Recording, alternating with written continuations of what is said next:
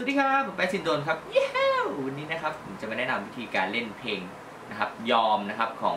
พี่ๆวงหินเหล็กไฟนะครับ เดี๋ยวตามไปดูกันเลยเย้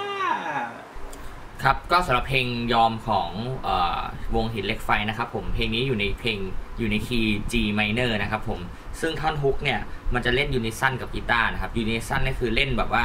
เป็นโน้ตเดียวกันเป๊ะๆนะครับ ผมก็ เดี๋ยวจะมาแนะนำในท่อนฮุกนะครับ เพราะว่าลายมันค่อนข้างน่าสนใจนะครับผมอะเดี๋ยวผมลองเล่นให้ดูก่อนครับคอร์ดในท่อนฮุกเนี่ยจะมีอยู่ 2 คอร์ดนะครับ หลักๆก็คือคอร์ด G minor กับคอร์ด E flat นะครับอะเดี๋ยวผมลองเล่นให้ดูก่อนอ่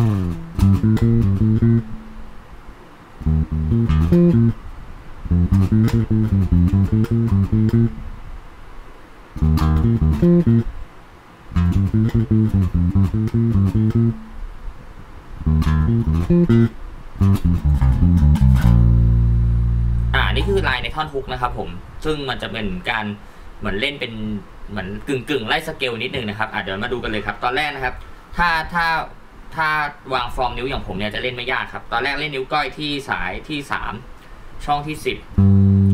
สายแล้วก็มาสายที่สองช่องที่เจ็ดช่องที่แปดครับนะครับ แล้วก็ซ้ำสามโน้ตเหมือนเดิมครับอ่าแล้วก็รอจังหวะนะครับ อ่าแล้วต่อมาเป็นคอร์ด E flat นะครับ สาย 3 ที่ช่อง 6 ครับนะครับช่องสาย 3 ที่ช่อง 6 แล้วก็สาย 2 ที่ช่อง 8 ครับอ่าแล้วก็กลับมาที่สาย 3 ช่อง 6 ครับ แล้วก็สาย 1 ช่องที่ 10 แล้วก็สาย 2 ช่องที่8อาจจะเป็น อ่า ประมาณนี้นะครับ อะ เอาเดี๋ยวเอาใหม่นะครับ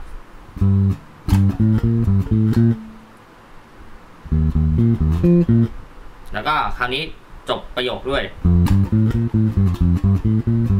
มันจะเหมือนว่าเป็นท่อนจบประโยคแล้วรันต่อไปยังท่อนท่อนท่อนต่อไปเลยครับ อาจจะเป็นเหมือนการไล่สเกลครับตัวนี้นะครับ จะเป็นสายที่ 3 ช่องที่ 8 ช่องที่ 10 ช่องนะครับ ช่องที่ 8 แล้วก็ช่องที่ 10 แล้วก็สายที่ 2 ช่องที่ 7 ช่องที่ 8 ครับ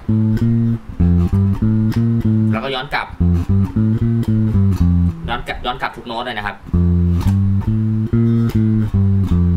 อ่า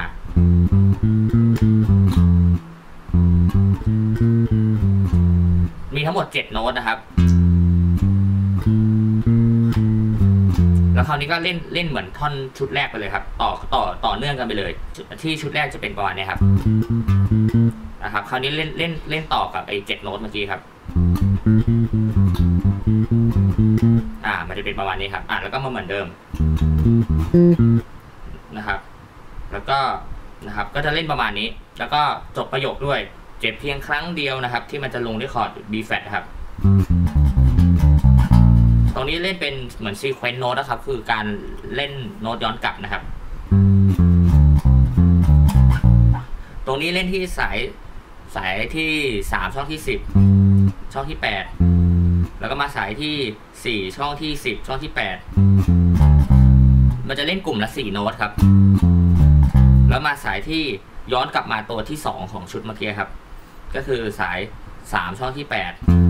แล้วก็สายสี่ช่องที่สิบช่องที่แปดนะครับ อาจจะเป็น แล้วก็ลงด้วยคอร์ด B flat ที่สาย 3 ช่องที่6อ่าใหม่นะครับ นี้เดี๋ยวผมลองเล่นทั้งชุดให้ดูครับ ท่อนฮุก